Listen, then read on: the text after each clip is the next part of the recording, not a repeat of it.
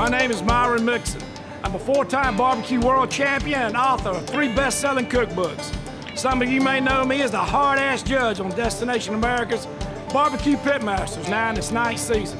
I've won over 200 grand championships, resulting in over 2,000 total trophies, 42 state championships, 9 Team of the Year, and 13 national titles. As you can see, I didn't become the winningest man in barbecue by hanging out in my hometown of Unadilla, Georgia. I pull trailers of all shapes and sizes, all over this continent. You spend that much time on the road, you're going to have a first-hand appreciation for the men and women who keep America rolling. I've seen your professionalism. I've seen your skill. I'm grateful for your dedication. So I'm honored to be given this opportunity to say thank you to the three and a half million truck drivers who make these United States the greatest country on earth. You've been a part of everything we've accomplished, everything we are, and everything we're about to do. Thank you for keeping us safe.